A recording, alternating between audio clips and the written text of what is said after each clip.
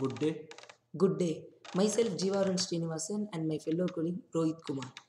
Today we are going to present on the topic methodology and possibilities of targeted therapy for gastric cancer. It was guided by Professor Elisaveta Ageva. Gastric cancer. Gastric cancer is a type of cancer that develops in the cells which lining the stomach. It is relatively common type of cancer and can occur in any part of the stomach. Now we will see about causes of gastric cancer. There are five major causes for gastric cancer.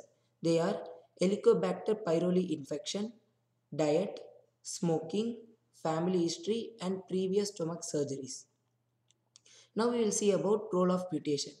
Mutations of gene in gastric cancer is broadly classified into three categories. They are high frequency drivers, low frequency drivers and passenger mutation. High frequency drivers which display high rate of mutation 5 to 10% across multiple gastric cancers. Low frequency drivers which recurrently muted in the range of 1 to 10% and still contributing to the pathogenesis of the tumor. Passenger mutation, which arises as a consequence of underlying mutational processes such as CpG deamination but are not functionally contributed in tumorigenesis. About 1 to 3% of gastric cancer are hereditary diffuse gastric cancers. Causes of inherited gastric cancer can to be many different types of mutations.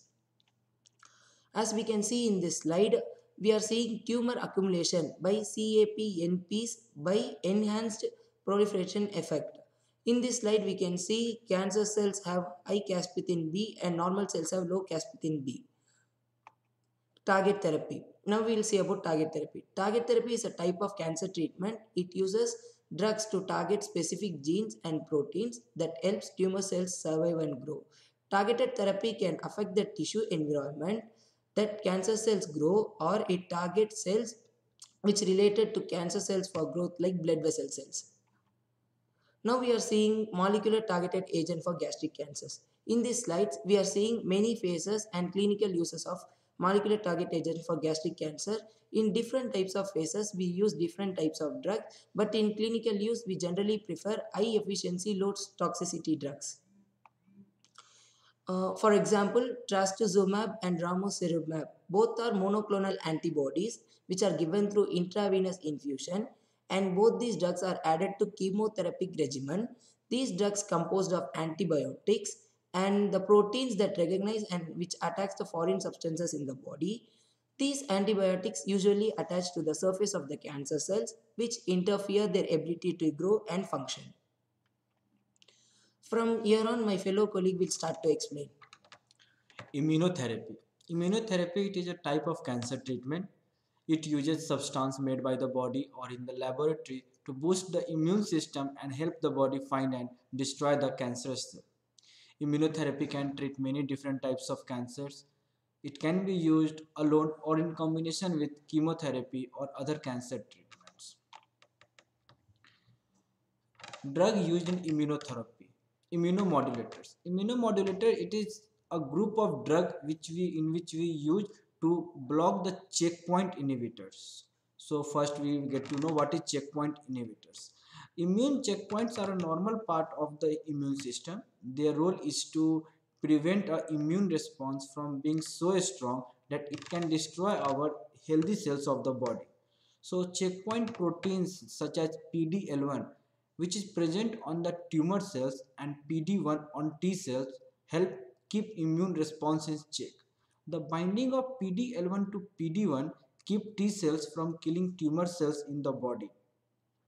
Blo to block this binding of PD-L1 to PD-1 with an immune checkpoint inhibitor allows the T cells to kill tumor cells.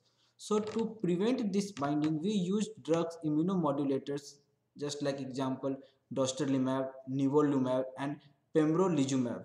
They inhibit the target the PD-1 PD-L1 pathway. Now in this slide, uh, we can see that the importance of the dendritic cell vaccine.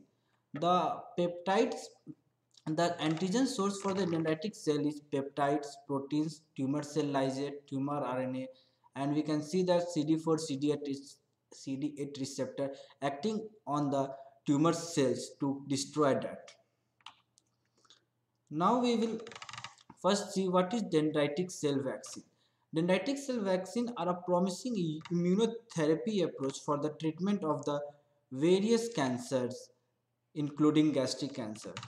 We need to sensitize dendritic vaccine to enhance their effectiveness against the cancers. So, to uh, there are many ways on which we can sensitize our dendritic vaccine, like tumor-associated antigen, adjuvants, cytokines, fusion with tumor cells, combination therapies. The current data demonstrate that the MG7AG dendritic cell vaccine induced a potent CTL activity. This CTL have a significant cytotoxic effect on both KATO3 and MKN45 with high level of MG7 expression. MG7AG dendritic cell vaccine mediated CTL significantly inhibit the growth of tumor. Now we will see how we make dendritic cell vaccine. There are five uh, steps in which we make our dendritic cell vaccine. First, we take fresh blood from human body. Then we extract monocytes from that in second step. Then we cultivate that monocytes and add GM-CSF in that. After that, we add antigen in that and after that it get mature and it will get uh, back again to human dendritic cell vaccine targets some receptors. As we can see in this slide the cd14 Dectin-1 there are so many. Now the conclusion of the this topic. Gastric cancer is an aggressive oncological disease in the treatment of which a new era is coming. This is facilitated by the study and the clarification of the role of the molecular mechanism such as VEGF, EGFR, fibroblast growth factor receptors, PIK3CA, and PARP1. It is promising to develop new personalized approaches to therapy based on targeted drugs using cellular and humoral mechanism for controlling the patient's immune response. Thank you. Thank you.